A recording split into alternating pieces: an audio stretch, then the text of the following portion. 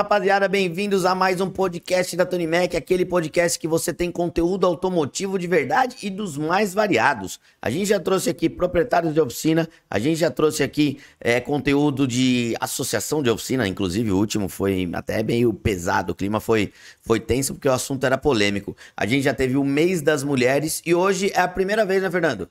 Que a gente traz alguém que faz parte da formação do profissional automotivo. É isso mesmo, a gente está aqui hoje com a Sandra Nali da Escola do Mecânico, que tem uma história muito legal para contar para vocês. Eu já vi algumas reportagens dela e me interessei desde o começo por vários motivos. O primeiro deles, ela é uma mulher dentro do, do mundo automotivo, então isso já chama um pouco de atenção. Segundo deles, ela começou com uma ação social muito bacana, ela faz uma uma reintrodução de pessoas no mercado e isso é um trabalho fantástico que a Sandra faz. Então eu vou apresentar ela para vocês e vou deixar as redes sociais para vocês também poderem acompanhar a Escola do Mecânico, a Escola do Fulheiro e tem o perfil da Sandra Nali também. Isso aí, tem o perfil meu. Legal, Sandra. Então aquela câmera é toda sua. Se você quiser se apresentar, dá um oi pro pessoal. Eu já vou começar depois perguntando da sua história. Opa! Oi, pessoal. Bom, um prazer poder estar aqui, compartilhar um pouquinho da minha história, falar desse setor que eu sou literalmente apaixonada, né? Mas eu sou a Sandra Nalha, eu sou fundadora da Escola do Mecânico e bora lá bater um papo aqui. Antes da Sandra ser fundadora da Escola do Mecânico, vamos falar da história da Sandra. Da onde que vem a paixão por carros? Nossa, Guilherme, comecei a, a dirigir com 14 anos de idade. Meu pai tinha um Fusca vermelho, ele ainda tem esse Fusca vermelho, porque ele, ele vendeu a pessoa que comprou reformou, ele foi lá e comprou novamente pela paixão que ele tinha por esse Fusquinha, viu? Já tive esses casos, já, já recomprei alguns carros meus também. É, né? Quem gosta, né? E aí eu acabei aprendendo a dirigir nesse carro com meu pai, com os 14 anos, e, e já gostava de carros, né? E aí acabou que eu entrei, comecei a trabalhar aos 14 anos de idade, também numa oficina mecânica, numa rede de centros automotivos. Eles tinham na época, né, uma unidade lá na cidade de Mojimirim, que é a cidade onde eu nasci, eu acabei ingressando nesse mercado como menor aprendiz numa oficina mecânica. Acabei fazendo carreira nessa empresa, fiquei lá por quase 20 anos. Então, fui menor aprendiz, fui assistente administrativa, fui vendedora de pneu e depois eu virei mecânica aos 22 anos de idade. Eu comecei a colocar a mão na graxa. É, eu me lembro que na época, imagina, isso aconteceu há 21 anos, até tenho 43, há 21 anos atrás. Imagina uma mulher loirinha, baixinha, colocando a mão ali na graxa, literalmente, trocando pastilha, pneu e tal. É, eles foram bem relutantes na época, porque eles não queriam me dar oportunidade para trabalhar na oficina, né, como mecânica mesmo.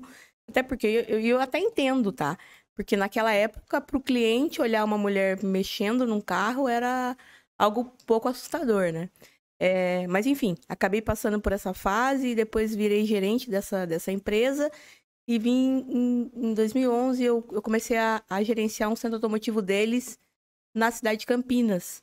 E aí acabei estabelecendo a minha vida pessoal em Campinas, né? E foi aí que começou a nascer o bichinho do empreendedorismo, começou a me picar, porque essa empresa acabou me ajudando a pagar a faculdade, a minha faculdade. Eu venho de uma família muito simples. E aí eles ajudaram eu a estudar. Eu falei, pô, eu preciso de alguma forma devolver para a sociedade o que essa empresa está fazendo por mim. E eu me sentia realmente puta, com o coração cheio, assim, em querer fazer alguma coisa para alguém, é, como forma de retribuição mesmo, né? E aí eu fui, é, comecei a dar aula na Fundação Casa, lá de Campinas, de forma muito despretensiosa. Não tinha intenção de levar nenhum conhecimento de mecânica na fundação. Com que idade isso, Sandra? Porque você tava ali, você entrou com 14, com 22 você virou mecânica. É, com que idade que você começou a querer dar aula, a querer passar conhecimento? Eu tinha 30 anos, 29. 29, que eu fundei a escola do mecânico quando eu tinha 30 anos. É, eu tinha 29 anos de idade quando eu comecei a dar aula dentro da Fundação Casa. Faz tempo, hein? Eu imagino o seu começo, porque você começou com 14, eu comecei com 15, mas dentro de uma empresa já da família. Mas eu mesmo sendo um homem com 15 anos já não era respeitado. Imagina você começar com 14 anos a trabalhar dentro de uma oficina e depois querer ir na parte produtiva.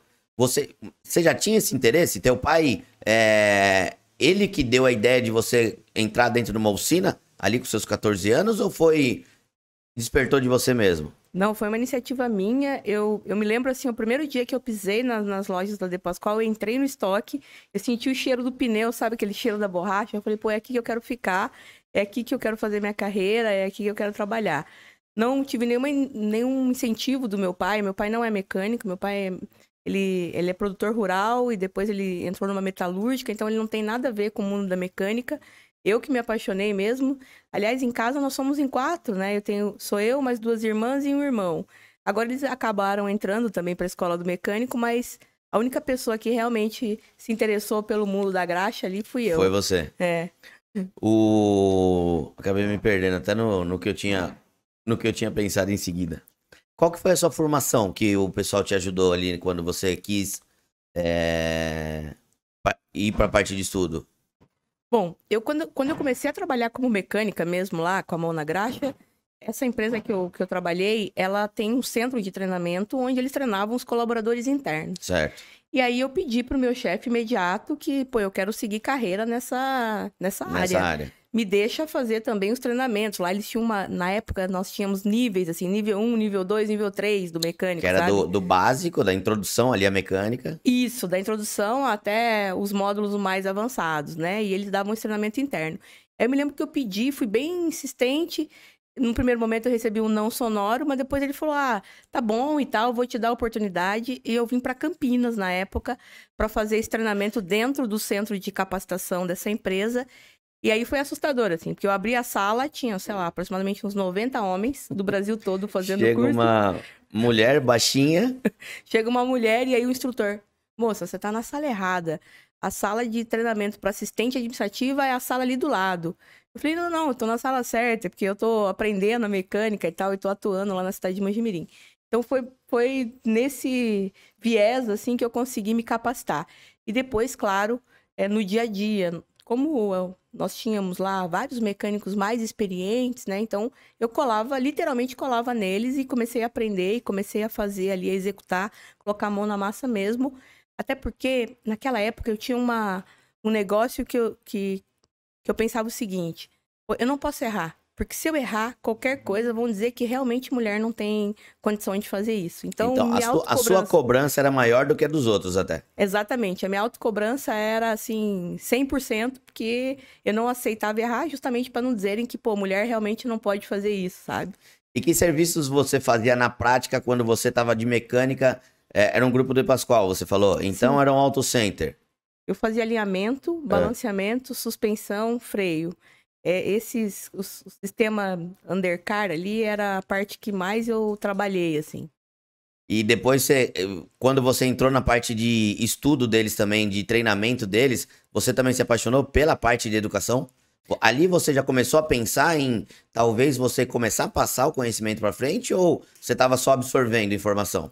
Naquela época eu só, só estava ah, absorvendo mesmo a informação. Eu acho que o desejo de transmitir o conhecimento, ele, ele iniciou quando eu comecei a fazer o trabalho voluntário dentro da Fundação Casa. Hum. A Fundação Casa mexeu muito, assim, com, comigo, porque quando você entra numa, num presídio como esse, de menores infratores, lá você começa a observar que tem pessoas todo tipo. Tem meninos lá que, com todo o respeito do mundo, roubou um celular no centro da cidade, de repente, para comprar o botão de gás mesmo para a mãe ali. Mas tem outros que já puta, cometeram crimes pesados, assim, e que talvez não tenha, não tenham recuperação. Mas tem muitos que ainda têm recuperação.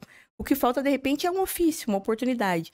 E foi isso que eu deslumbrei dentro da Fundação Casa, quando eu comecei a levar conteúdos motivacionais. Eu falei, opa, acho que eu posso trazer um pouquinho do conhecimento da mecânica para esses garotos aqui. Ah, você não começou levando conteúdo de mecânica. Não, eu comecei com trabalho social levando conteúdo motivacional. Eu recebi um convite num trabalho voluntário. A, todas as sextas-feiras eles abriam as portas para as pessoas externas na fundação para levar algum conteúdo para estimular, motivar aqueles jovens, Sim, sim. justamente pensando na, no momento da saída deles para eles ingressarem novamente à sociedade, né? Então eu não comecei com conteúdo de mecânica, eu comecei com conteúdo motivacional e migrei para mecânica porque eu percebi que alguns ali poderiam ter recuperação.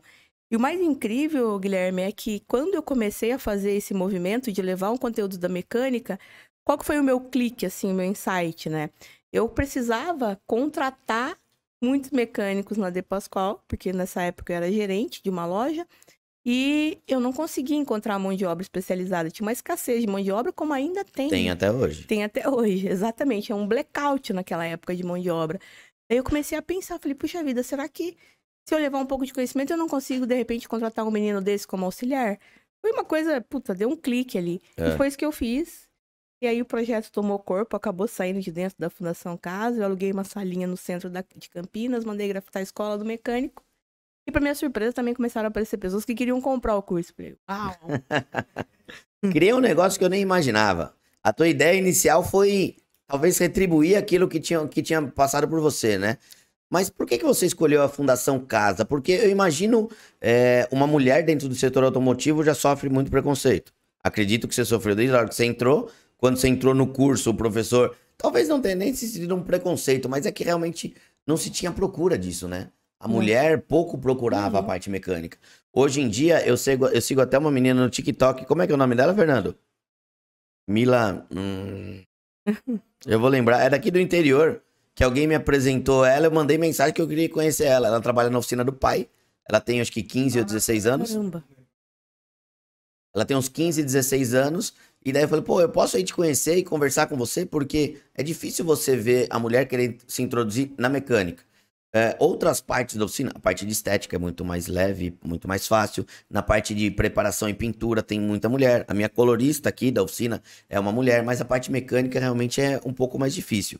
Então você já teve um preconceito inicial de ser mulher. E depois, quando você foi para a Fundação Casa, como que foi o recebimento? Fundação Casa, pessoal, para quem não lembra, é a antiga FEBEM, tá? Exato. Então são menores infratores que tem é, de todos os tipos lá, como você mesmo disse. Mas quando você chegou lá, os meninos queriam te ouvir falar sobre, a princípio, motivação? Bom, foi. Eu recebi um convite de uma assistente social da, da, da casa na época. Ela fez um convite e eu falei, pô, eu vou. Eu não, não conhecia, nunca tinha entrado numa, num presídio. Num presídio. Aí eu fui na primeira vez, assim, claro, tem. Você precisa botar uma roupa diferente, você se cobre toda, coloca um jaleco e tal. É porque imagina, são muitos meninos ali presos, né? Sim. E eu, eu, eu percebi o seguinte, assim, que eles eram sedentos, porque eram muito jovens, são bem jovens, né? Abaixo de 18 anos. É de que idade Fundação Casa? De quanto até 18? É, se cometer um delito, De pode ser 12, 12, 13. 12 13. Acho que a menor idade é 13. Tá. E aí, é, até os 18, né? Depois dos 18, eles são libertos de alguma forma. Hum. É, e aí eu percebi que eles eram sedentos por qualquer tipo de informação. Então, tudo que se levava Eles queriam. aqueles que queriam realmente sair dali, porque tem muita gente que, que tá ali, não diria por acaso, né? Mas assim, estar, está ali por conta de ter cometido uma infração muito leve, ou por qualquer motivo. Não é o. o... Às vezes, um momento da vida, ele cometeu alguma coisa, mas ele quer o quanto antes sair dali, E né? quanto antes sair dali, ele quer reingressar à sociedade. A grande maioria deles quer, quer isso, assim. Então, quando você leva qualquer tipo de conteúdo, eles acabam se conectando bastante, assim. Então, não sofri nenhum tipo de preconceito, assim. A única coisa é que, lógico, tem que ter esses cuidados todos com a vestimenta claro. e tal. Não poderia, não podia lá levar ferramentas nem nada, porque não pode entrar com nada, material perfurante nem nada. Então, era uma TV e um computador, era o que eu... Era o material de trabalho que eu conseguia ter disponível para poder passar alguma coisa para eles, assim. É legal essa questão do trabalho social. Eu faço alguma coisa de trabalho social, mas aqui no, no bairro, na, na igreja que eu participo. E antes da, da Fundação Casa, você já tinha esse interesse pelo trabalho social? Eu tinha, eu venho de uma família também bem religiosa, meus pais são católicos e eu acabo, ac- acabava participando muito do- dos eventos da igreja, mas Hum. nada além disso, assim. Participava de movimentos da igreja, gincana, colaborativa, algumas institui- instituições e tal. Mas eu nunca tinha feito um trabalho social focado como esse da Fundação Casa, nunca. E essa ideia, então, saiu de dentro da, da Fundação Casa. Quando você abriu o seu espaço lá no centro de Campinas, que o pessoal começou a procurar, não, eu quero fazer um curso de mecânica. O que que você oferecia? Era uma mecânica básica? Era você já tinha também alguns, alguns módulos diferentes? O que que você oferecia, Sandra? Bom, quando eu, eu grafitei na parede, eu ainda não tinha intenção de empreender, é uma loucura. A única coisa que eu queria naquele momento era ter um pouco mais de estrutura física para eu poder atender os meninos que ficavam em liberdade assistida, porque os meninos eles ficam presos, depois eles ficam um período em liberdade assistida que eles podem sair momentaneamente da, do presídio, Mas escoltados, mas voltam. Então aí eu falei, opa, acho que eu consigo montar uma estrutura mínima aqui. Mas a partir do momento que você montou uma estrutura, mesmo que seja mínima, você já tinha custo. Você já tinha que imaginar que você teria que vender aquilo também. Sim, mas quando eu montei essa salinha, eu falei, pô, eu vou financiar isso. Ah, a ideia era você É, bancar. eu, eu comecei a bancar. Os primeiros meses eu não, não vendi curso. Entendi. Eu abri a salinha, peguei umas peças velhas lá no De Pascoal, amortecedor, bancada, algumas ferramentas. Falei, pô, aqui pelo menos eu tenho uma estrutura mínima. E trouxe um colega de trabalho junto comigo. Falei, cara, vamos participar de um projeto social comigo. Ele trabalhou muitos anos comigo lá. E aí ele falou, pô, eu topo. Vamos lá, a gente vai dar aula junto então. E a gente montou a estrutura mínima, extremamente precária. E teus Precária. primeiros alunos eram os meninos da, da Era, os fundação. meninos da Fundação Casa. Aí nós mandamos grafitar na parede escola do mecânico, não tinha telefone, não tinha nada, era um grafitão lá. E eu me lembro que tem um, um amigo, um amigo próximo, né, um irmão de uma amiga minha, e ele era grafiteiro mesmo. Eu falei, pô, grafita aí que eu te, eu não tenho grana, mas eu te pago uma caixinha de escola. E eu paguei uma caixinha de escola, ele fez o grafite lá. Escola do mecânico. E como que foi a, a construção da escola? A partir de que momento que você viu que tem interesse das pessoas e você pensou, pô, isso daqui pode ser muito mais do que esse trabalho social que a gente vem fazendo? Nossa, foi muito rápido. Eu grafitei na parede e nas primeiras semanas já começaram a aparecer pessoas querendo comprar o curso. E como eu nunca havia empreendido, eu nunca empreendi. O meu primeira, meu primeira jornada como empreendedor é a escola do mecânico. Eu falei, pô, eu não sei fazer isso. Eu vou pro Sebrae. Aí procurei o Sebrae, Hum, fiz o meu primeiro plano de negócios. Aí o Sebrae me ajudou muito, mas muito mesmo. Aí eu entender, pô, qual é o investimento inicial, capital de giro, pô, será que esse local é o correto para o público-alvo? É, Eu me lembro que na- nas orientações do Sebrae, eu fiquei uma semana na rua da primeiro prédio da escola do mecânico contando quantos ônibus passavam, quantos carros passavam, para entender se o público conseguiria chegar pra até ver ali. se você tava no lugar certo, No né? lugar certo, exatamente. E aí, quando eu fiz o plano de negócio, ele parou em pé, do ponto de vista de números. Falei, opa, dá para tocar o negócio em frente. Só que na época não tinha grana, não tinha dinheiro. E aí eu vendi um Ford K velho que eu Hum. tinha com base no plano de negócios feitos com o Sebrae, porque eu precisava de capital de giro e precisava comprar algumas ferramentas. Eu emprestei 20 mil reais do meu pai, que eu não devolvi até hoje. Quanto tempo faz isso? Vamos fazer uma correção aqui pra ver quanto dá. Isso aí foi em 2011, pô, já faz quase 12 anos, 12 anos. É, e aí eu acabei conseguindo, pô, montar ali os primeiros cursos. Aí eu vou voltar à tua pergunta aqui, né? É. Quais os cursos que nós tínhamos? O- nós iniciamos pelo curso de suspensão freio, que era a parte que que, eu você fazia, é? muito, exato. E migramos para a parte de motor também. Então, nós, na época, quando eu iniciei a escola mecânica, nós tínhamos três módulos. Suspensão, freio, a parte undercar, né? E motor. Nós tínhamos lá uma pessoa que trabalhou comigo que conseguia dar o curso de motor. Começamos assim, uma sala bem pequena, bem pequena. O Aluguei... que, que é bem pequeno? Pô, Quantas pessoas cabiam na sala? Quantos alunos nossa, você tinha? hum, tipo 10 alunos, assim. Tá. Daí uma sala desse tamanho aqui, né? Assim, sei lá, 20 mi- metros quadrados aproximadamente. 10 alunos, só que lá nós não conseguíamos, nós tínhamos bancada, mas nós não conseguíamos colocar um carro lá dentro. Sim. E o meu desejo era que o aluno aprendesse no carro, mão na, na massa, no carro. E aí a gente alugou uma, 10 vagas de um estacionamento na mesma rua, tem grafitado lá até hoje. 10 vagas de estacionamento, 5, uma de frente com a outra. Botei um tapume lá e peguei um elevador, encaixei no chão, fiz um cimento batido, coloquei um elevador no chão e eu comecei a dar aula prática. No No estacionamento. estacionamento, 10 vagas. Depois o Sebrae fez uma matéria grande, fez um vídeo grande comigo, ele mostra um pouco da estrutura. É nostálgico quando eu vou lá. Eu vou te falar que isso é motivacional. A tua- a- quando você começou na, na Fundação Casa, você dava palestra motivacional. E essa história vale para muitas pessoas que às vezes querem começar um negócio e acham que tudo tem que começar já grande. Você tem que ter muito dinheiro, você tem que ter uma puta de uma estrutura. E o que você tá dando aqui é o exemplo de que não precisa de nada disso, né, Sandra? Exatamente. Eu costumo dizer, Guilherme, assim, né, que, que é o seguinte: quando a gente tem clareza do nosso porquê, o porquê eu faço isso? Por que, que eu dou aula na Fundação Casa? Por que, que eu dou aula de mecânica? Você tem, começa a ter clareza do teu porquê. Aí você fala, pô, é isso que eu quero fazer. E o que move é a nossa motivação interna, não é o externo, é muito mais interno do que externo. Claro, é necessário o recurso financeiro, sim. Mas a gente começa a se movimentar quando a gente tem clareza do nosso porquê. A gente começa a se movimentar e as coisas se movimentam ao nosso favor e aí as coisas acontecem. Eu sou prova disso. Comecei a escola do mecânico vendendo um Ford K velho, emprestando 20 mil reais do meu pai. E hoje a gente está chegando à marca de 39 escolas e já formamos mais de 50 mil alunos. E isso há 12 anos atrás. Há 12 anos atrás. Como que é a rotina da escola hoje? No começo você dava aula. Sim, no começo eu dava aula, muitas aulas. Eu, eu, o meu parceiro lá, o Gustavo, que trabalhou comigo um tempão também, É, hoje eu não consigo mais dar aula, imagina. Eu dou uma ou outra aula de gestão para oficina pontualmente para alguns grupos muito específicos, assim.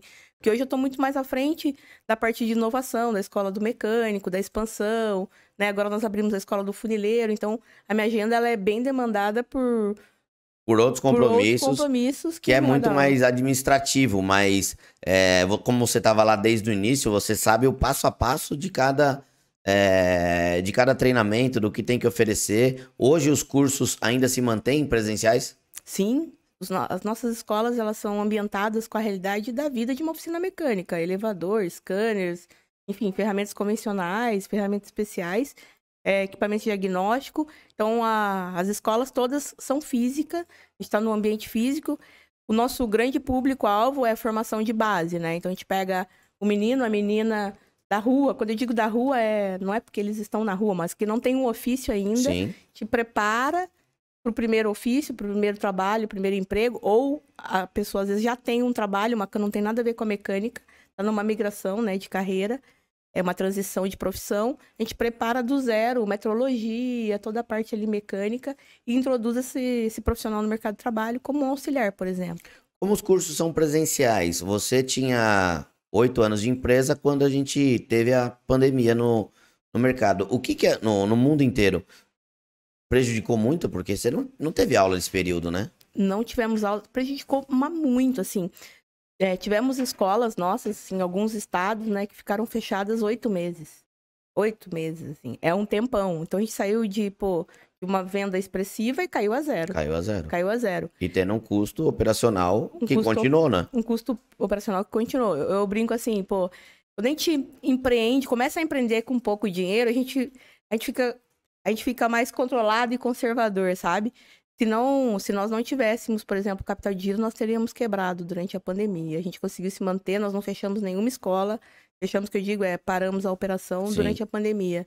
É, pelo contrário, agora a gente está rampando novamente aí o negócio, a gente começou a rampar já. Então tá, a gente está voltando ao, aos números que nós fazíamos antes da pandemia. E lá no começo, quando você começou lá em 2011, que daí você teve ajuda, teve os 20 mil reais que você não pagou seu pai até hoje. e, mas você chegou a ter aporte de, de empresas, de pessoas que acreditavam na sua ideia, ou você cresceu sempre de forma é, sozinha? Eu não, não tive. Financeiramente, eu tô dizendo. Até hoje, assim. Até tive... hoje, assim. Eu não tive aporte financeiro de ninguém, assim, nada. Aliás, isso é uma, uma grande dificuldade dos empreendedores brasileiros, né? Quando a gente começa a empreender, nem o banco consegue crédito. Precisa ter um tempo de operação para ele conceder algum tipo de crédito, né? Mas eu não tive ajuda financeira de ninguém, a gente cresceu de forma orgânica. Por esse motivo também nós optamos, hoje nós temos uma rede mista, né? Parte das escolas são minhas, Outra parte são franqueados, que a gente faz uma gestão colaborativa com eles, né? Know-how, marca, inovação fica por nossa conta. É, mas é no modelo de franquia a parte da operação nossa. Isso facilitou bastante, porque você precisa de menos capital para poder crescer. Para poder ter um crescimento. É, mas não, não recebemos o aporte financeiro de ninguém. É uma dificuldade tão grande para quem está iniciando, e não é só quem está iniciando. Eu vou só citar um exemplo, o, o interesse é a gente saber da Sandra. Mas eu vou citar um exemplo que aconteceu comigo. A Tony Mac tem um CNPJ de 53 anos. E recentemente eu abri uma outra empresa. Durante o primeiro ano dessa empresa, eu não conseguia comprar faturado de indústria. Olha isso. Eu tinha um CNPJ por detrás e todo mundo me conhece, conhece a minha pessoa, meu pai e tudo, mas como o CNPJ era novo, era regra. Eu tive Puts. que pagar tudo à vista, muita coisa antecipado, porque ninguém dá crédito. Então, quando você está começando, é exatamente isso. Você não tem crédito de ninguém. Exatamente. E isso dificulta a atração dos empreendedores brasileiros, né? Assim, porque, pô, o quanto nós poderíamos tracionar mais, crescer mais rápido, gerar mais impacto social. Eu sou muito dessa escola, né, do impacto social desse ecossistema, acredito nisso, assim. Os negócios precisam ser de impacto social e a gente atrasa um baita de um projeto de impacto por falta de recurso. E eu diria que não é um recurso gigantesco, é pouco recurso. Sim, sim. Mas com certeza, depois disso, quando a escola come começou a tomar forma, eu acredito que você tenha sido assediada por algumas empresas. Ah, sim, nós somos bem assediados, em especial é, durante a pandemia e pós-pandemia, assim, né? O mercado aqueceu de investimentos e tudo mais. Nós somos bem assediados por alguns fundos de investimento de impacto social, porque o nosso negócio ele é bem atrativo quando se fala do, do impacto social, porque nós somos um gerador de emprego e renda para o segmento que carece de mão de obra absurdo. Então, quando a gente olha para esse, esse mundo, é, o nosso negócio torna-se bastante atrativo. E por se tratar também do negócio que vem de serviço, em tese, né? É um negócio que tem lucratividade. Então, a gente consegue unir impacto social e lucratividade, o que torna-se brilha os olhos aí dos investidores. E quando você está falando em formação de profissional, mesmo acredito que você ainda faz o trabalho social, você ainda tem é, o pessoal que vem da Fundação Casa, mas quando você fala em educação, você tem um impacto na economia como um todo, né? Porque você está gerando, está é, criando um profissional para o setor, que é um setor primordial, tanto que durante a pandemia as oficinas mecânicas puderam continuar funcionando. Então você vê como é uma engrenagem super importante. E você está gerando meu, mercado profissional é, para um setor como esse. Eu acredito que é, o interesse, principalmente de empresas, grandes grupos, é poder fazer parte disso. A gente acabou de fazer um trabalho social no começo do ano, onde a gente fez a restauração de um carro de uma fundação. E muita empresa, empresa quis participar porque ela quer ter seu nome associado a alguma ação social, né? Exatamente. Gente tá, tá, tá forte a pauta de SG agora, que tanto se fala, a gente começa a ter nomenclatura bonitinha, mas é, isso que você trouxe é, é muito verdade, assim. Tem bastante interesse, tanto da indústria quanto do mercado, em participar desse negócio por se tratar de um fomento de emprego e renda mesmo para o setor, né? É, hoje a gente atende sim alguns alunos da Fundação Casa como bolsista, e nós atendemos também algumas ONGs, algumas instituições que nos procuram. E a Escola do Mecânico, por DNA, porque nós nascemos assim, eu faço questão de impregnar isso mesmo na rede, é, 5% no mínimo do total de matrículas vendidas são concedidas, em gratuidade para aquelas pessoas que estão em situação de risco e não podem pagar pelo curso. Então a gente continua com o trabalho social. Hoje a gente tem algumas empresas, posso citar algumas aqui, que, que investiram em, em compra de bolsas para as pessoas da periferia, por exemplo. A gente fechou 50 matrículas para mulheres com a Fórmula 1, com o objetivo de treinar, capacitar essas moças e depois incluir algumas no mercado de trabalho. Nós fechamos agora com a Fundação Toyota também um grupo de 30 mulheres, que foi um projeto bem bonito que está acontecendo lá em Campinas. E fechamos com o grupo Sangoban, a Norton fechou com a gente, em parceria com a Escola do Funileiro aí. É, ela é, uma, é um programa para formar as meninas na, na, área de pintura, que tem tudo a ver que legal, que bom saber. É, bem legal. Muito bom. Então, então, isso tudo com verba incentivada das empresas, né? As empresas é, assumindo esse compromisso de financiar o curso para essas pessoas que não podem pagar. Então dá uma olhada, você pode aprender sobre mecânica, agora também na parte de funilaria, que tem a escola do funileiro, e até para vocês que estão assistindo que tem interesse, eu vou deixar aqui embaixo na descrição os links para você ter acesso, entrar no site, pegar informações, ver o curso que você quer fazer e realmente ir se profissionalizar, porque existe muita falta de profissional no mercado. A gente encontra, hoje a gente está aqui em São Paulo, capital, que é o maior mercado do Brasil. E daí, durante a semana da Automec, que está acontecendo, eu vejo muitas oficinas vindo conversar comigo. Ah, eu sou de Goiás, eu sou de, de Recife, eu sou de, de Porto Alegre, eu sou do interior de Minas Gerais. Fala, meu, lá não tem mão de obra. Fala, mas aqui em São Paulo não é diferente. Não. Aqui você tem mais gente, mas ainda falta mão de obra. E principalmente uma mão de obra especializada, uma mão de obra que realmente vai atrás de, de informação, que sempre, de formação, que sempre foi muito difícil. E a Sandra acabou resolvendo uma boa parte disso. Obrigado, porque eu vou até entrar em contato com a, com a escola do funileiro para saber até do treinamento das meninas aí.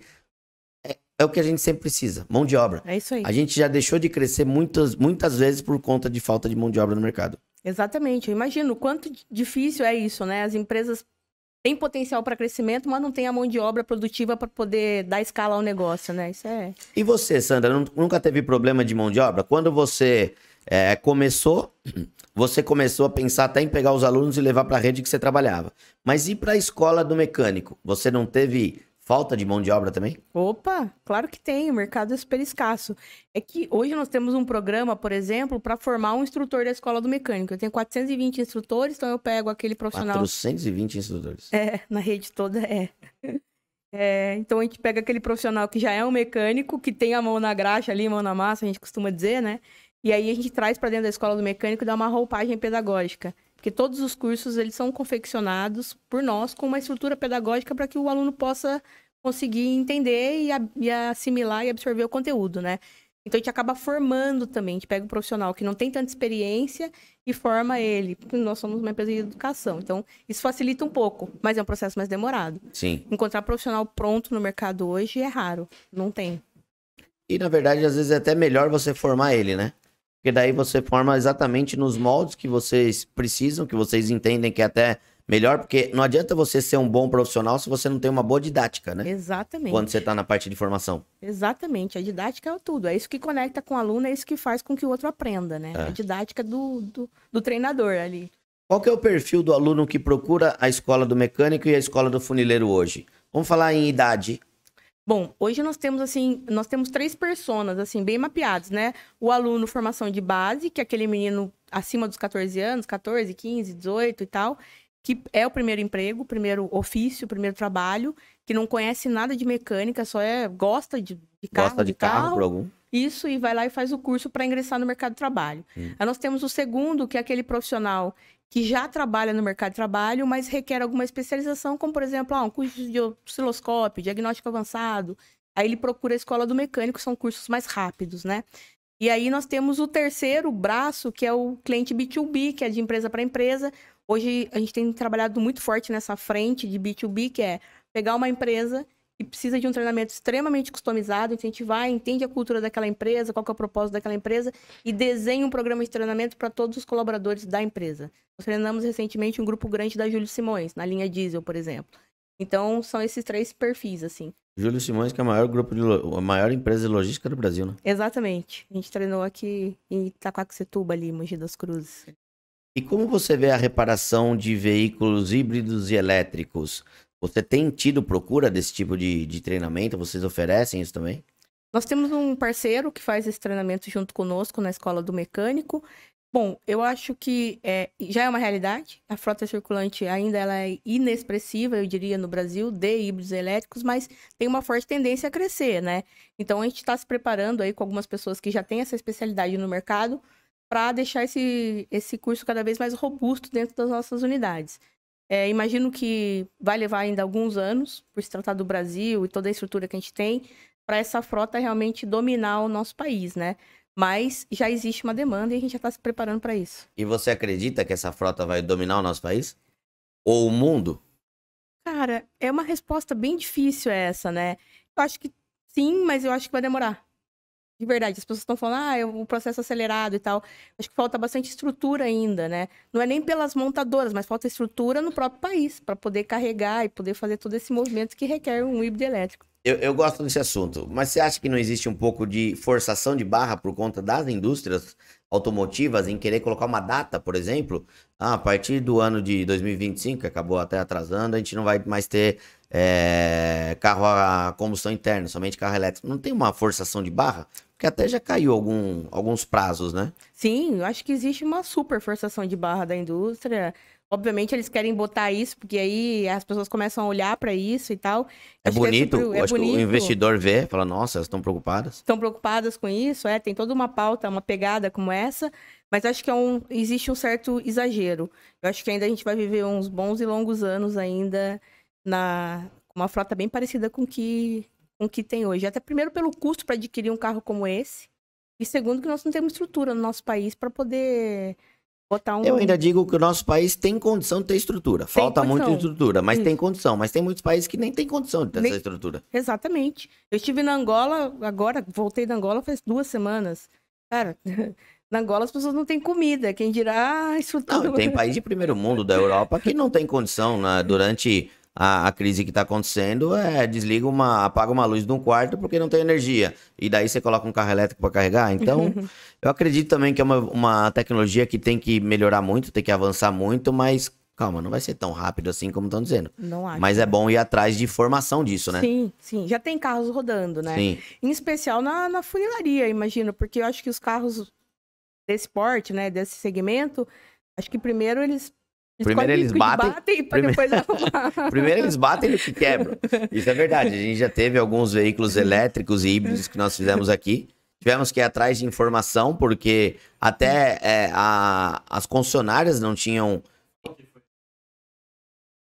Verdade, verdade. A gente teve. Vou lem- lembrar um dos casos. Foi uma cangu elétrica, que era da. Boticário não? Era Boticário. Natura ou Boticário, não lembro. Era uma cangu elétrica que daí eu fui atrás de informação dentro da concessionária que eu compro peças. E não tinha informação. Eu É. fui que eu consegui informação no, no- que é em Campinas, se eu não me engano, a concessionária. E daí ele me deu algumas orientações e tal, me indicou, inclusive, a NR10 pra gente se adequar e tudo. Mas é, é exatamente isso. é a chance do carro bater é muito maior do que o carro quebrar. É, Sim, Porque quando você vai fazer manutenção de, do undercar, suspensão e tudo, a questão do carro ser elétrico ou não, acaba não mudando não em mudando nada. nada. Não muda em nada.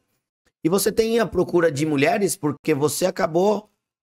Você influencia até hoje muitas mulheres a entrar no mundo de mecânica. E a mulherada procura cursos?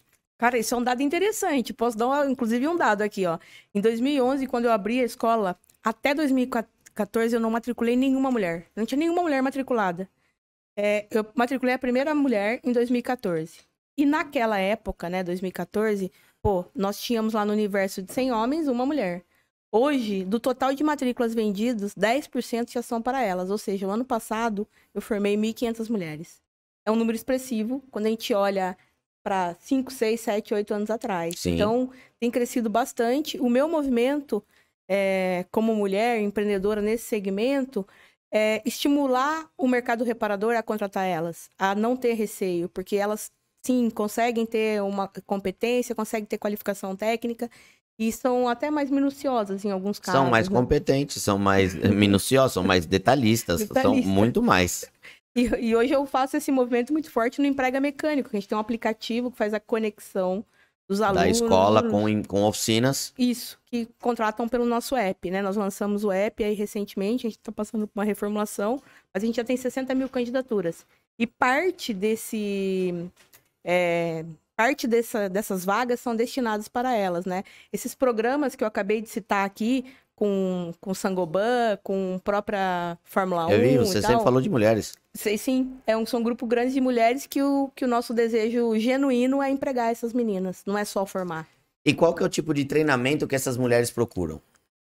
Pô, na mecânica, mecânica, mecânica pura, assim, mecânica, mecânica, mecânica, mecânica automotiva na sua maioria das vezes, assim, tem uma ou outra mecânica de motos, mas a grande maioria é mecânica de carros, assim, mecânica de suspensão, freio, motor, suspensão, transmissão, elétrica, Tem um, um grupo que eu conheço, que é do Rio Grande do Sul, que é o Gaúchas Car. conheço. E daí elas estão sempre vindo para São Paulo atrás de, de treinamento, tudo. Eu conheço, tenho bastante contato com a Débora, que ela faz, na verdade, ela não é da, ela faz parte do grupo, né?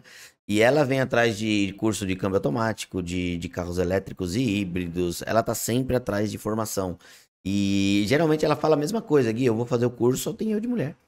É isso mesmo. Só tem eu. E hoje, é, ela faz um curso de câmbio automático aqui no interior de São Paulo, já fez alguns módulos, e hoje ela é convidada também para ela oferecer alguns módulos. Ela também dá o treinamento.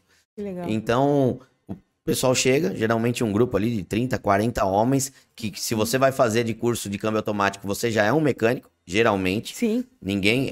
Pode até ter Não, alguém que não tem conhecimento e vai atrás. Mas geralmente o cara já é um mecânico. Chega lá, tem uma uma mulher mulher. para oferecer o treinamento. Eu acho super- sensacional. É sensacional, é. A mulherada tá dominando. Há 12, 23, mais de dois an 12 anos atrás, acho que uns 13 ou 14, eu criei um modelo de negócio que eu queria abrir uma oficina para mulheres. Pô, Uma oficina mecânica para mulheres. mulheres. Eu tenho um projeto até hoje aqui, chamava Fusca Cor-de-Rosa. Fusca cor-de-rosa aí. O nome é bom, hein? Acabou não virando em nada, era no imóvel aqui perto, mas é, eu sempre gostei muito de trabalhar com mulher exatamente por conta do, é, do detalhe. Uhum. A mulher é muito mais fácil de você conseguir lidar. É, a mulher é muito mais atenciosa. Você pega na parte de preparação de pintura. Recentemente também eu fui num, numa inauguração de loja de mecânico em Araraquara. E eu fui numa concessionária Toyota que eles é, colocaram uma menina na parte de preparação de pintura. Nossa, eu fiz um vídeo com ela. Ela tem 18, 19 anos, né, Fernando? E ela é a mascote. Mascote da oficina. E o pessoal adotou ela, sabe? E, e, ao invés de lidar com questão de preconceito, porque é uma menina, talvez porque ela seja bem jovem, adotou ela. Então ela parece filha de cada um ali do, do setor.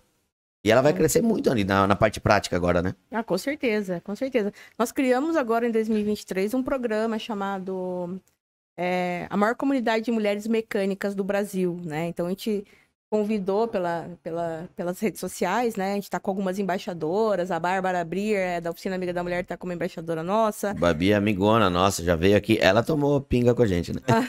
Mas ela veio de noite, ela veio de noite. a Bárbara é parceiraça nossa também. E nós trouxemos duas, duas meninas, duas mulheres que trabalham na Porsche Cup e a Janaína e tal, que é engenheira da Porsche, né? E, e ela tá fazendo esse trabalho de embaixadora. E é legal porque a gente criou um ecossistema onde elas conseguem trocar, assim, sabe? Os maiores desafios. E aí uma acaba empoderando a outra. Eu também participo desse grupo, é um grupo grande.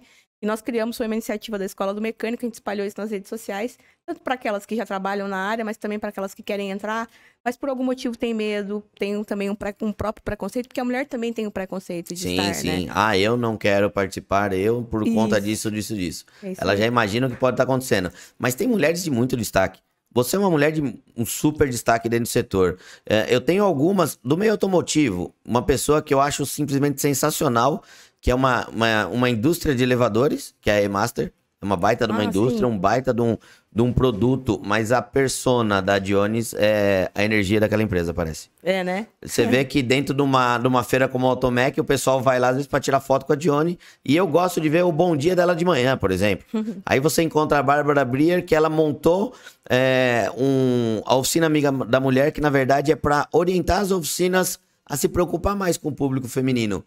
A mulher é a melhor cliente dentro da oficina. Com certeza. Não é a cliente que você vai enganar, que você vai passar para trás. Não, a mulher ela quer o carro dela reparado. Ela não é aquela pessoa, ah, eu vou atrás do de comprar peça em lugar tal. Não, ela quer o carro dela reparado, então ela tá ali para resolver o problema. É, é, a gente tem um dado aqui dentro da oficina que mais de, se eu não me engano, a gente fez no ano passado. Mais da metade das nossas clientes eram mulheres.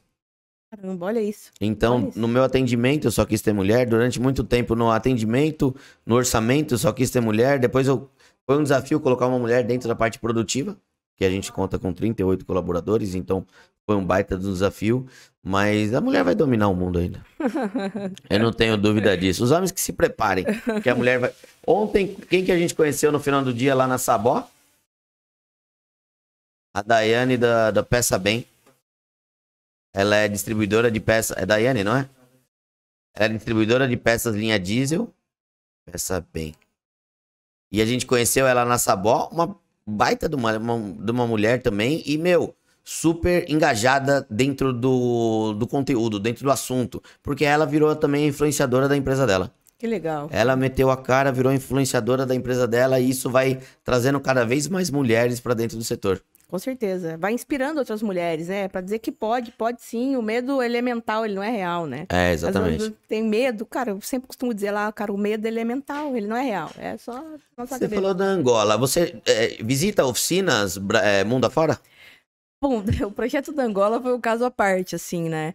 É, com, a, com, a, com a aparição no Fantástico, algumas pessoas me procuraram e um angolano que mora no Brasil já há 20 anos e é casado com uma brasileira que é do setor de educação, mas em outro segmento, nada a ver com o nosso, de idiomas, ele trabalha com escolas de idiomas, ele me procurou.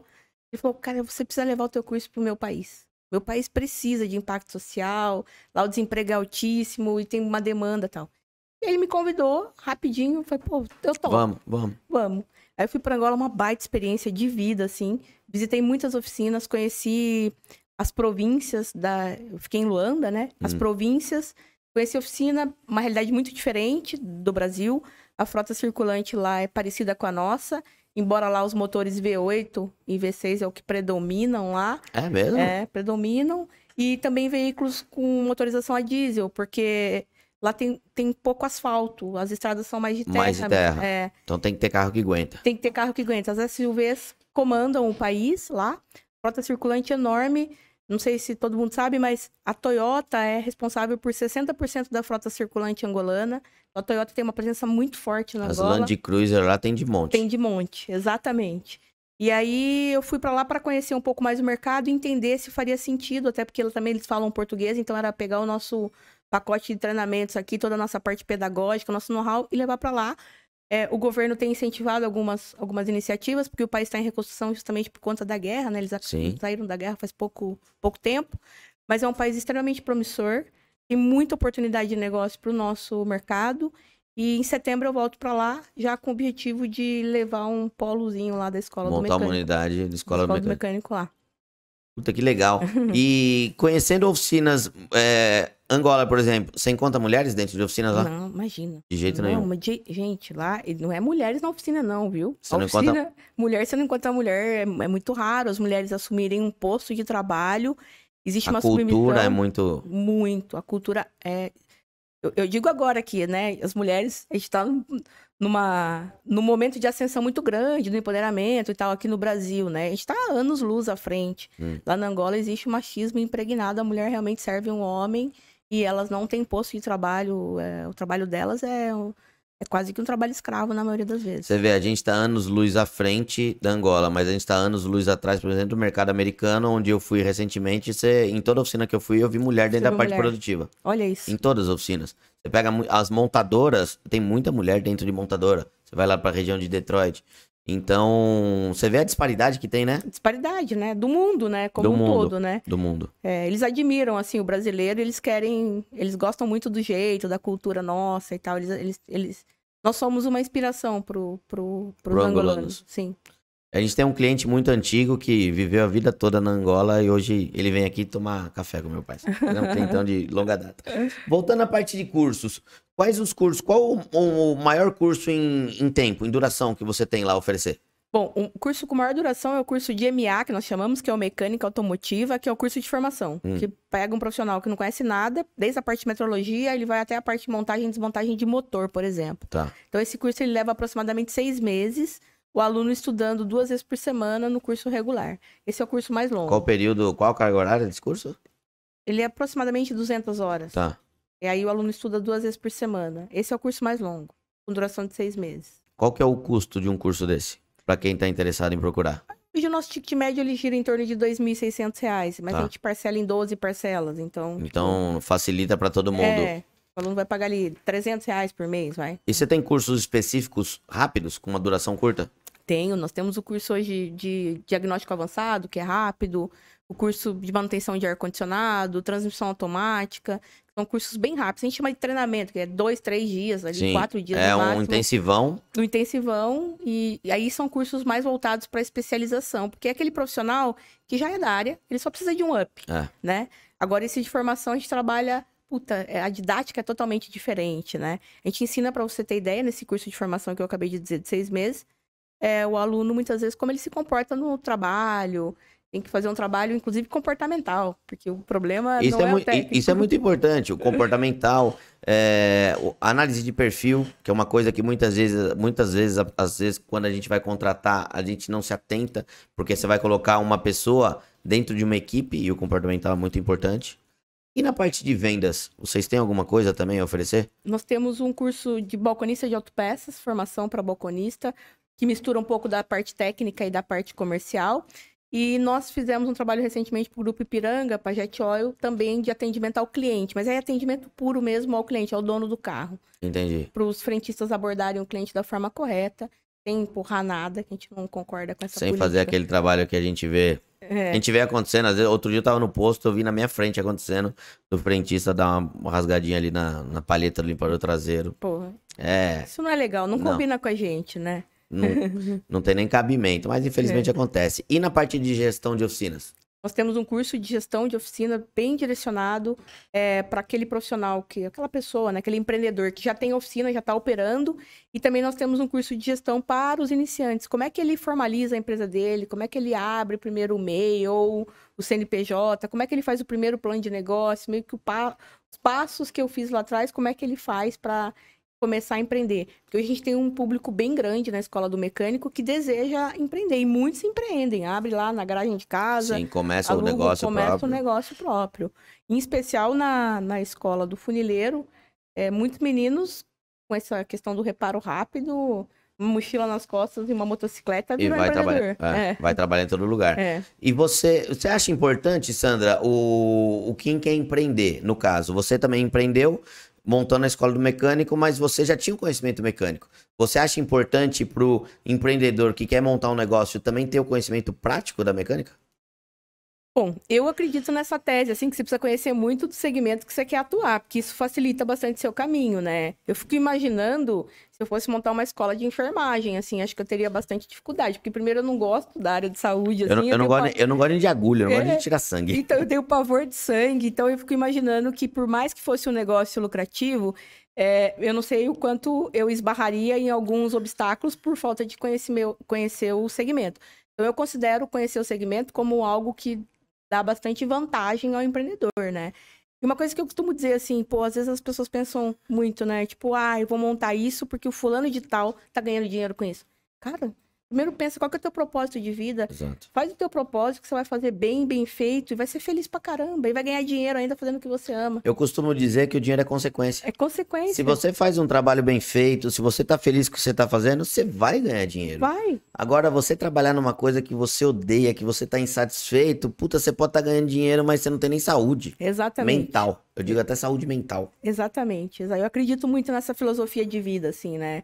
Viver o propósito intensamente que as coisas, o resto todo acontece, né? O dinheiro vem depois e não antes, né? Gostei até da energia que tá rolando aqui. É uma energia boa, é uma energia boa. Ô Sandra, vocês têm bastante retenção de alunos? Quer dizer, o aluno faz um curso, volta a fazer outro, volta a fazer outro?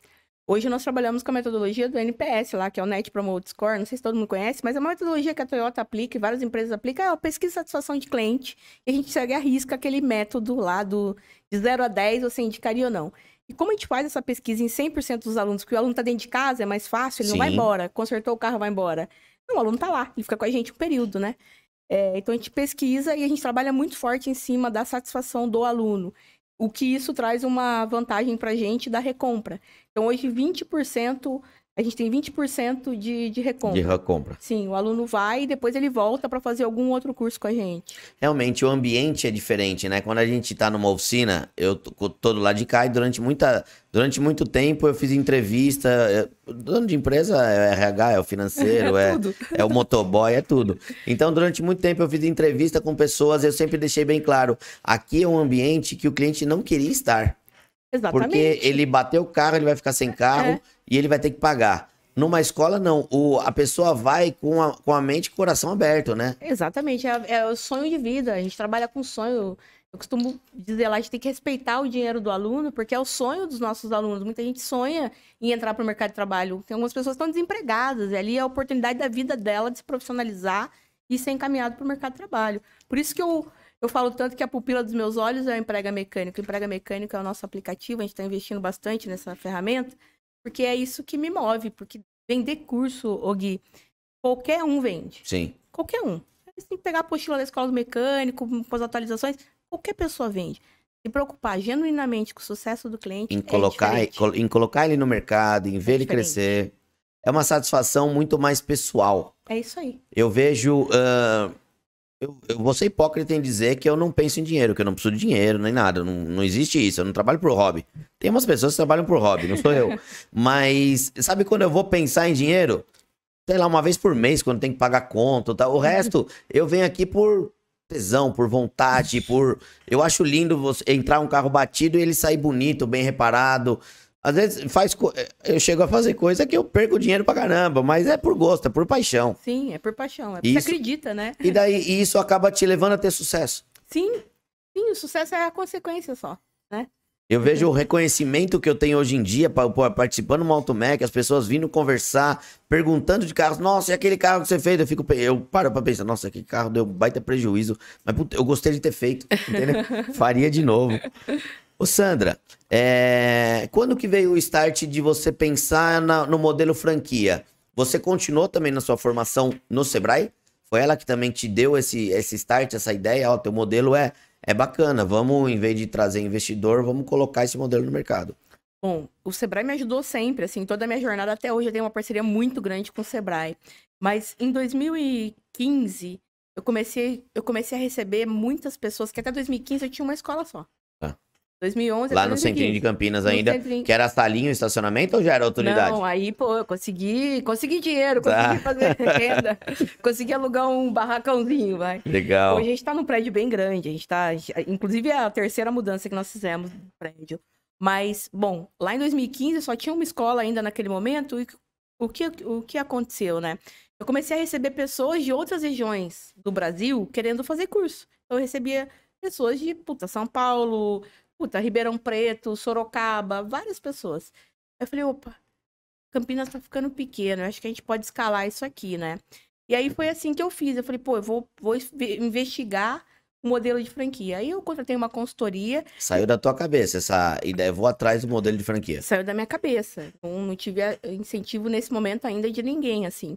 Eu fui, comecei a estudar esse modelo, eu falei, pô, eu preciso de um capital menor para poder escalar com franquia. Aí, na época, pô, montar uma escola do mecânico tem todo um custo, né? Sim. de implementação do negócio. Aí eu comecei a estudar, contratei uma consultoria, procurei a BF e tal, contratei uma consultoria. E aí é um fato curioso, né? Naquela época, 2015, o único imóvel que eu tinha era o meu apartamento, que era a minha casa. Eu vendi meu apartamento para pagar a consultoria, para pagar uma parte da consultoria, fui morar de aluguel para poder investir na consultoria para formatar a escola do mecânico para virar franquia, para virar um- uma rede Uma franqueada. rede de franquia. Aí paguei a consultoria em 2016, aí eles me disseram assim: ó, legal, teu, teu projeto para em pé, super legal, mas tem muita emoção envolvida. Nunca mais vou esquecer do consultor me falando isso. Eu Tira emoção. ali, Tira a emoção. Monta uma segunda escola no modelo de franquia, mas não com o dinheiro de alguém. Monta com o teu. E achei, eu achei é, uma empresa muito ética falar isso, né? Sim, Pra mim, sim. não sai franqueando, monta a segunda. Aí foi isso que eu fiz. Aí eu montei a segunda escola com recurso próprio. E aí, pô, Aí avaliei... acabou o dinheiro do apartamento. Aí acabou o dinheiro do apartamento, eu continuei morando de aluguel. aí eu fiz o plano de negócios e tal, encaixou certinho, a escola começou a dar resultado, mesmo no modelo de, de franquia. E aí foi assim que eu comecei a escalar. A primeira franquia foi minha mesmo. E agora aí eu tenho 13 escolas próprias e 25 franqueados. Isso é uma rede que ainda você tem aberto mercados para quem quiser abrir escolas em regiões do Brasil, pode procurar também. Sim, nós temos dois modelos hoje de franquia, né? Nós temos um modelo que a gente lançou recentemente, inclusive o pessoal do grupo da Bárbara Brir tá, tá com a gente aí. É, nós temos a franquia Full, que a gente chama, que pra- são para as capitais ou para as regiões maiores. É uma escola do mecânico na íntegra mesmo, assim, uma escola do mecânico grande, de mil metros quadrados, com Mil metros me- quadrados? Mil metros quadrados com oficina, enfim, ela simula a realidade de uma oficina. Tá. E nós agora lançamos o modelo da franquia compacta. A franquia compacta é aquela cidade tem 200 mil habitantes, 300 mil habitantes, mas tem uma oficina mecânica que é referência na cidade, que também tem, tem dificuldade com mão de obra, mas que é uma oficina já padrão, com padrão de qualidade. A gente homologa essa oficina e coloca uma célula da escola do mecânico, ou seja, ele vira um franqueado compacto nosso, para ter lá duas salas de aula, e aí, no período noturno, a gente utiliza a parte da estrutura da oficina. Para fazer a parte de escola. Isso. Então, tem dado muito certo. A gente tá com a quarta franquia Pô, compacta. muito, muito certo. O cara vai estar treinando o profissional para trabalhar no andar de baixo. tra- E ainda vai ganhar dinheiro com isso. E ainda vai ganhar dinheiro com isso. É a melhor situação. Porque a gente que faz toda a venda do, da matrícula e tal, e Ele o só, ele só aplica o. Mas você forma também o instrutor, o Sim. professor para eles. Sim, nós treinamos o instrutor, o professor, e os nossos cursos são todos montados em Campinas, pela nossa área de engenharia, toda a parte pedagógica. Então, quando eu atualizo lá, ele vai para o Brasil inteiro. Tá tudo conectado, entendeu? Então, eles não precisam desenhar um curso. Qual que é a região do Brasil que mais procura o modelo de franquia? Que tem interesse em abrir escola? É o mercado de São Paulo ou é fora? Estado de São Paulo. Tanto que meu maior número de escolas está em São Tá em Paulo. São Paulo. São Paulo capital. Agora a gente está mirando bastante a região norte e nordeste do país, que lá tem uma carência absurda. E, puta, existe uma grande diferença de nós aqui, sul e sudeste, pro norte e nordeste, gente. É um negócio abrupto, assim, a diferença, né? E a gente tem duas escolas no nordeste e nós estamos levando franquia compacta para lá. A gente entende que lá tem mais carência do que o estado de São Paulo. A indústria está muito presente aqui. Sim. As coisas acontecem muito aqui. Aqui tem muito treinamento. Vai pro norte e nordeste é raríssimo. Lá não tem nem muita feira. Não tem nem feira, Tá exato. tendo Automec no final do ano passado. Eu fui pra Autop ou Autonor, nem lembro qual que teve lá, porque é um ano, cada inverte uma com a outra. Mas lá o pessoal tem uma carência de, de, é, de material, de evento, de feira, que lá eu não conseguia andar. Exatamente. É, tudo bem, um pavilhão menor, tudo menor. do que aqui, mas você não conseguia andar, as pessoas estavam sedentas de, de De informação. informação. É isso mesmo, é isso mesmo. E a gente quer mirar, porque lá também tem uma baita oportunidade, aí falando do meu negócio, assim, né, como impacto social, né? Uma baita oportunidade. Quando a gente compara o índice de desemprego nessas regiões, são muito maiores. Sim. E tem oficinas mecânicas que também Em precisam todo de lugar. Onde tem carro, tem oficina. Tem oficina. Então, por que não a gente fazer esse trabalho de inclusão social nessas regiões que tem um- uma carência maior? Fica uma dica minha, tá, pessoal? O pessoal, muita gente que às vezes quer vir para uma capital, quer vir para uma cidade grande, quer vir para São Paulo, falando, não, tá tudo lá. Se você quer trabalhar com carro, na tua cidade tem carro, tem, tem lugar em. Tem, tem mercado em todo lugar. Eu vejo muitas oficinas de interior de São Paulo que às vezes eu paro para pensar, puta, por que, que eu tô dentro de São Paulo, capital? Se eu tivesse no interior próximo, eu estaria melhor do que aqui dentro. Porque o meu custo operacional aqui é extremamente alto por ser São Paulo. Sim. E se você pega um mercado, o, o poder aquisitivo de cidades próximas é maior do que de São Paulo. Com certeza. Então era melhor eu estar em outras regiões do, ta- do que estar aqui. Não, você não precisa estar dentro de uma grande capital para isso. Você pode estar onde tem carro. Se tem carro, você tem, você vai ter cliente. Ô Sandra, treinamentos EAD. A escola do mecânico tem? Já pensou? Vai ter? Nós temos alguma coisa, mas é bem pouco. É, nós temos alguns cursos de especialização em EAD. Nós temos o curso de gestão de oficinas e também alguns cursos para motocicletas, especialização é, na modalidade EAD. Mas o nosso negócio ainda 90% É o no- presencial. É o presencial mão na massa.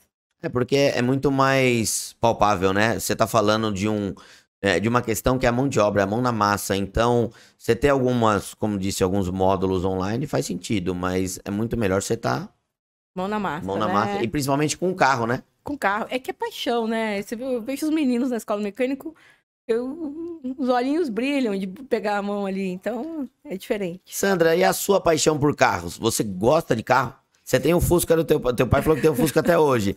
E que- qual carro a Sandra usa? Putz, a gente tem um carro super adesivado lá da escola do mecânico, que é uma BMW antiga, mas É. que a galera usa para evento, que eu gosto bastante, acho lindo aquele carro. Eu gosto da Mitsubishi. Hoje eu, hoje eu ando com um Eclipse Cross. Eu sou meio- Ah, é? é, eu sou apaixonada aí pela Mitsubishi. Eu tenho bastante apreço pela, pela marca, assim. Mas eu não. Eu, eu gosto de carro, assim. Eu não tenho uma marca. A Mitsubishi é a que mais me, me chama atenção, mas não tenho uma marca preferida, assim, do coração. Você Assim. já, já, já andou em Subaru? Subaru? Não, acho que já andei. quer, quer ir na Automec hoje comigo de Subaru? Opa, eu vou de Subaru então hoje. Falando em Automec, o que, que a Sandra Nalha, a Escola do Funileiro, a Escola do Mecânico, veio fazer na Automec? Hum, Pô, nós estamos no Automec em parceria com a, com a Frasli, Grupo Frasli, né? Frase Mobility lá, Frasli, puta, Nakata. tem uma- perto de um monte, né? Tem um monte. Tem.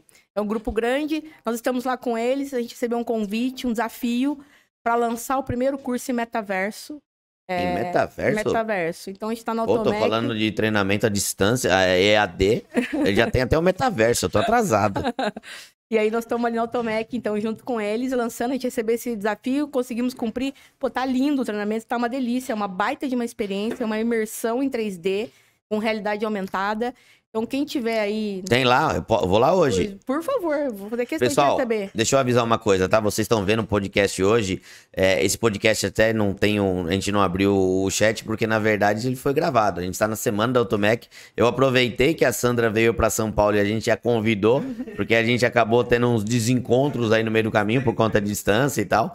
Mas a gente tá rolando, tá rolando a Automec essa semana e eu vou gerar um conteúdo. Já gerei, clica no card aqui em cima porque eu já gerei um conteúdo do que a gente viu na Automec eu vou lá visitar. Então, o metaverso da Escola do Mecânico, Show, te junto espero com a. Fresley. que legal. Ô Sandra, tem algum aluno, alguma história de aluno que te marcou? Nossa, várias. Vou contar, posso contar? Lógico. Bom, tem, tem do Gabriel, que eu- é que eu me emociono toda vez que eu conto essa, Gui, aí é sacanagem, viu? O pessoal vai me ver ali com a maquiagem borrada.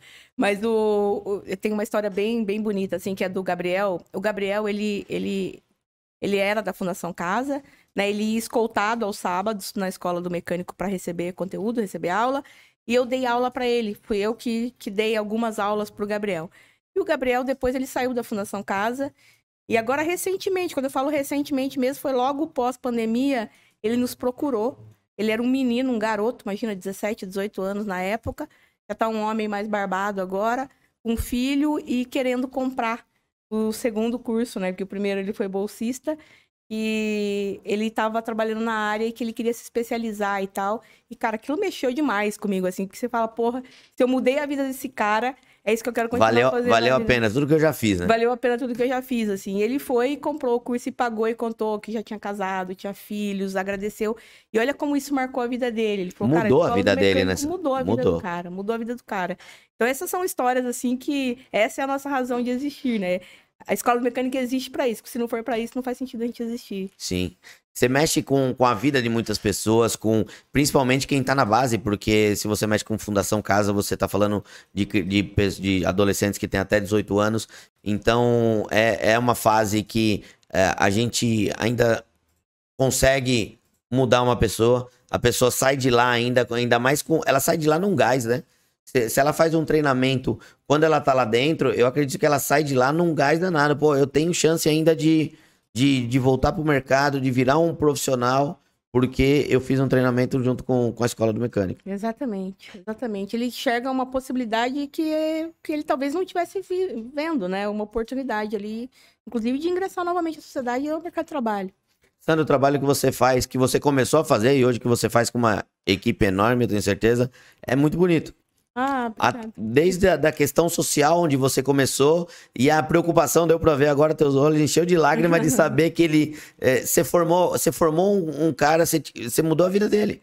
Tipo, hoje ele tá casado hoje ele é um profissional e com certeza eh, ele vai contar pro, pro resto da vida dele que o que mudou a, de- a- a vida dele foi a escola do mecânico Exatamente. Não, a gente tem história pra contar demais aqui, porque se eu for contar de casos de alunos, a gente tem N casos aqui de alunos bolsistas, não bolsistas, e que de alguma forma a gente mexeu com a vida deles e mudou o entorno. Porque quando você muda a vida de alguém, você não tá mudando da pessoa, É. você muda a vida dele como um todo, né? mas então vai ficar o meu convite para você voltar uma próxima vez e contar mais histórias Opa! emocionantes Porque como a gente tá na semana da Automec, eu tenho um compromisso lá super cedo, a gente vai ter que fazer até um, vai ser, acho que o podcast mais curto que a gente fez, mas fica um segundo convite para você vir contar mais histórias quando o metaverso estiver mais avançado, aí a gente volta aqui para conversar. E a gente vai lá filmar, é, vocês vão ver. Opa! Na verdade, quando tá rolando esse daqui, ah não, esse vai pra segunda, né? Então o vídeo da Automec eu acho que vai pra frente ainda. É, provavelmente amanhã vai ter o vídeo do Automec. Eu vou lá sim pra gravar. E antes de ir embora, eu queria somente entregar uma lembrança, Opa! um presentinho pra você Oh, obrigado. lembrar do podcast da Tony Mac, lembrar que você está ajudando a Tony Mac também, Ó. porque se você está formando profissional, eu vou precisar de profissional, tanto da escola do mecânico como da escola do funileiro. E parabéns por toda essa iniciativa, por essa Verdade. história de vida, por essa superação e por essa motivação. Pô, você motiva muita gente. Ah, obrigado, pô. Obrigado pela oportunidade de poder contar e inspirar mais gente. Muito obrigada. E contrata a gente mesmo, que a gente quer isso aqui. Eu vou, eu, eu preciso contratar. A gente vai falar do modelo do, é, do aplicativo, porque é, eu quero me cadastrar exatamente para a gente poder ter mais. Chegar mais profissional aqui. E o profissional que se formou, ele já vem com um gás, um gás a mais. Aí. Por isso que eu Perfeito. perguntei. Algumas perguntas que eu fiz já fui até pensando nisso. Ah, Do perfil, qual a- o pessoal que procura e tal. Porque eu falei, deixa eu ver quem que eu vou escolher para colocar aqui dentro. Muito bom, ótimo. É isso aí, mais Sandra, impacto. Parabéns mais uma vez para todo mundo que quer saber mais informações sobre a Escola do Mecânico, sobre a Escola do Funileiro. As informações estão aqui embaixo na descrição do vídeo. Obrigado por acompanhar aí todo o conteúdo da Tony Mac. A gente sempre tenta trazer pessoas do mundo automotivo e graças a Deus, há mais de ano a gente nunca saiu. Agradecer também a todo mundo que fica rolando aqui atrás, ó, que ajuda a gente a trazer esse conteúdo mais profissionalmente para vocês. Loja do Mecânico, Mercado do Pintor, Pneu Store. Esses três, inclusive, são e-commerce. Vocês têm cupons de desconto para comprar ferramenta, para comprar insumo, para comprar pneus. Agradecer ao pessoal da AOB, aquela união do setor das oficinas, que depois eu até vou contar um pouco para Sandra. Eu também sou presidente de uma associação de oficinas onde a gente está tentando criar uma força maior. É, juntos a gente consegue muito mais do que separadamente, né? Isso é muito bom. Databox, sistema de gerenciamento e a consultoria seguros. Um grande abraço para vocês. Sigam as redes sociais da, da Escola do Mecânico e eu espero vocês no próximo conteúdo. Tchau.